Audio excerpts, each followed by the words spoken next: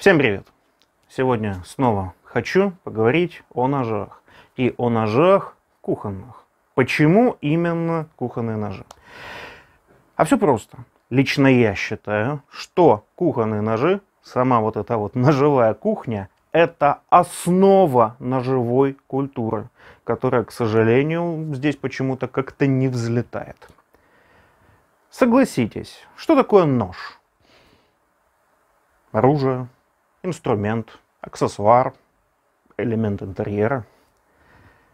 Но именно на кухне, прежде всего, это все-таки инструмент. Я не раз сталкивался с ситуацией, когда человек покупал дорогие ножи, всякие разные кастомы, фолдеры, не знаю, аутдорные, охотничьи, какие угодно. Названий можно много придумать. А на кухне у него было черти что.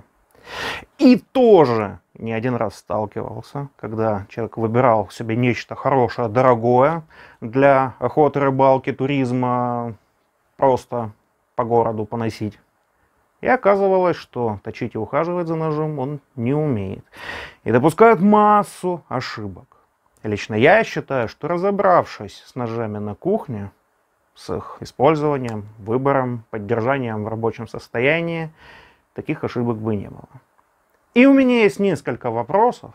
Я уверен, что вы дадите на них ответ в комментариях, которые я хотел бы сегодня обсудить. Вопрос первый. У нас есть некоторая банка, внутри которой образовалось разрежение. В итоге крышка притерта так, что даже никакому качку не отвернуть. Что большинство делает?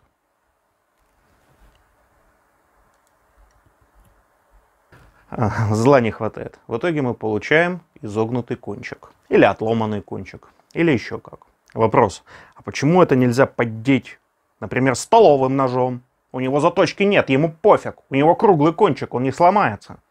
Почему это нельзя сделать обратной стороной ложки или вилки? Почему нельзя сделать вот так? По-моему, японок на уроках домоводства учат. Что это за желание ковырять кончиком тонкого кухонного ножа всякие такие силовые вещи? Еще вопрос. Зачем тонким, аккуратным, тонко сведенным шефом рубить кости? Вопрос в ту же калитку. Зачем толстым ножом туристическим выживания охотничьим на кухне резать овощи? Еще вопрос. Зачем ножом ковыряться в земле, пересаживая растения? Если что, земля это в основном у нас оксид кремния, вполне себе абразив. В ту же калитку. Резьба на неподготовленных поверхностях, точнее нарезка. Например, на стеклянных досках для нарезки. Я не знаю, кто, какой баран это придумал. Я знаю. Это придумали заточники, чтобы не лишиться работы. Шутка. Таких вопросов масса. А, например, я не могу понять, почему народ до сих пор ведется на лазерную заточку. Лазером ножи не точат. Нет, серьезно. Это байка продавцов. Да, существуют, конечно, станки, в которых контроль ведется при помощи лазера. Но точат они внезапно абразивами. Хирургическая сталь. Это вообще обалденный мем. Та же самая 1810. Это пищевая нержавейка, которую реально можно назвать хирургической, без всяких шуток. Из нее делают хорошие ложки, вилки, кастрюли и прочее. И она же хирургическая. Но она аустенитная, она не калится. Она мягкая. Но все еще народ ведется. Или вот, мне нравится. Вот тут, особо вот. Я куплю дешевый нож когда он затупится, я его выкину и куплю новый. Так почему же не выкидываете? Иногда такие монстры живут на кухне, мне приносят. Иногда лезвие не острее обуха. И, кстати, нередко заточка такого ножа стоит дороже этого самого ножа. В общем, парадоксальная ситуация. Казалось бы, элементарная вещь, нож. В интернете куча, куча прорва материала по выбору, по материалам, по заточке, потому что нельзя ножи держать вместе с остальными металлическими приборами, ложками, вилками в одном стакане, в одном ящике. Держать их отдельно. О том, что нельзя их пихать в посудомоечную машину.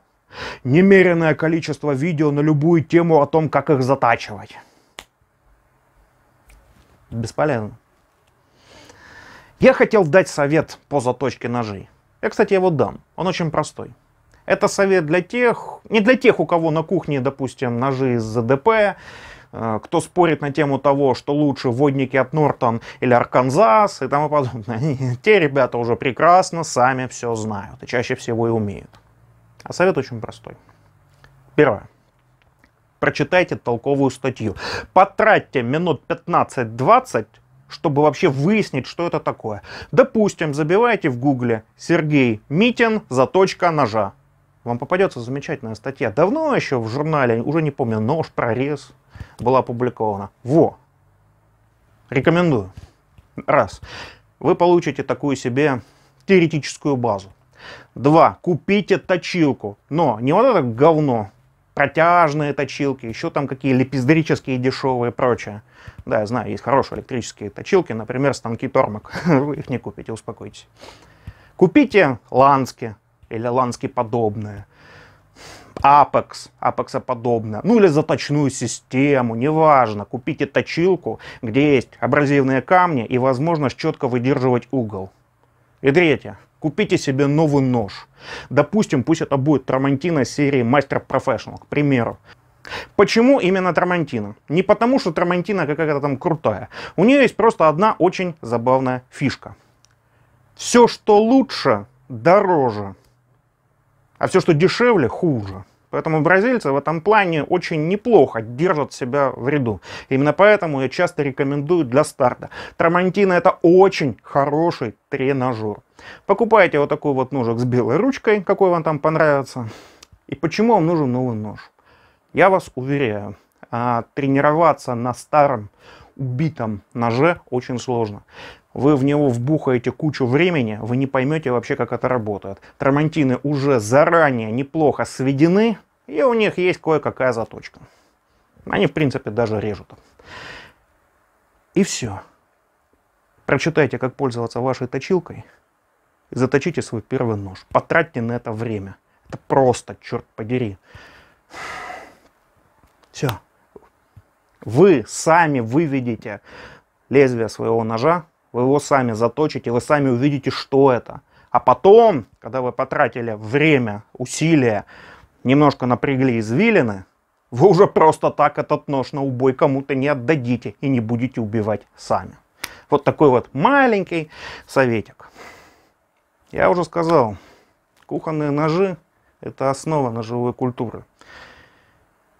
Делать видео про заточку ножей на каких-нибудь крутых станках, камнях, или сравнивать вустов из Кацуми, я не вижу смысла.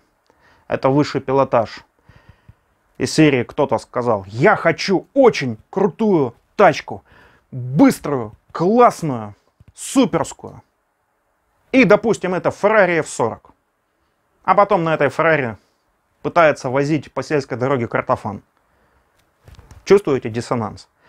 Вот то же самое. Купили вы какой-нибудь Янагиба, это нож для нарезки там роллов суши, от какого-нибудь Хатори за кучу денег. А потом им пытаетесь, допустим, разнять хрюшку. Это будет глупость. Так что, скорее всего, я посвящу некоторую серию видео именно рядовой бытовой кухне, ножевой кухне. Ну, а перед этим я обязательно почитаю ваши предложения, ваши ответы, ваши комментарии, которые позволят создать вот такую вот программу. Спасибо за внимание, до новых встреч, пока.